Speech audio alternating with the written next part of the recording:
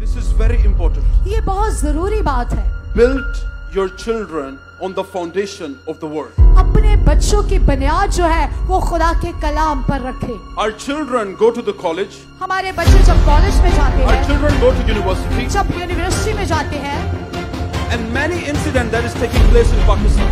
और पाकिस्तान में बहुत से हादसा हो जाते हैं And you guys know what incident takes place. और आप जानते हैं मैं किन हादसों की बात कर रहा हूँ They leave Christianity.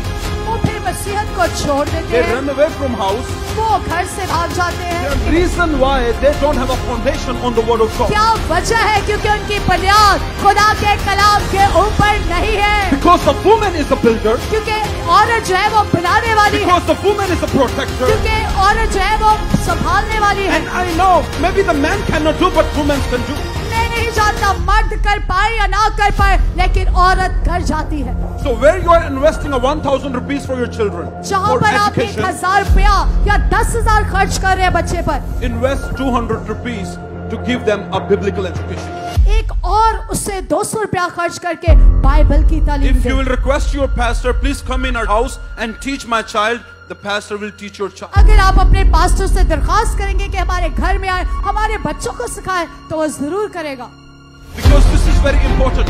क्योंकि ये बहुत ज़रूरी है So when they will go in a future, जब वो मुस्तकबिल में आगे बढ़ेगा so devil will never summon their life. तो अबलीस उसकी ज़िंदगी को छीन नहीं पाएगा And that will happen when you will build their foundation on the word. ये तब ही होगा जब आप अपने बच्चे की बुनियाद जो है खुदा के कलाम पर रखेंगे